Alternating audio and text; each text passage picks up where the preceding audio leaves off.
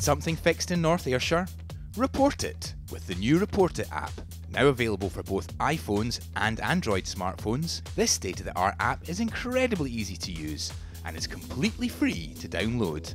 It's Scotland's first council report and track app, so it's now even easier for you to report faults and issues like potholes, graffiti, and fly tipping. You can also use the app to inform us instantly about dog fouling, street lighting faults, and road or pavement issues. Report It is brought to you by North Ayrshire Council and the Improvement Services Customer First programme, which supports councils to deliver more key services online. The app harnesses the latest mobile technology and uses maps, photographs, and GPS to help residents report issues anywhere, anytime. Simply, launch the app, select the pencil icon to create a new report.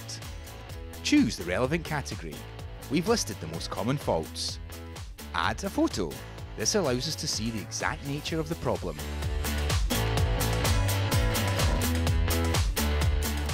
Add an address. The app pinpoints your exact location through GPS technology. Share any additional info about the location or problem so we can correctly identify it. You can also give us your details. It's completely up to you. And that's it. Click Submit. The details are sent immediately to North Ayrshire Council. As soon as a report is received, it is prioritised and allocated to the appropriate clean-up or repair squad for action. We'll give you a case number so you can keep track of the job's progress and send you confirmation when the job's done. The app even remembers your details for next time.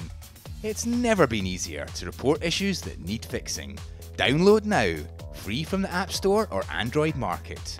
You report it, we fix it.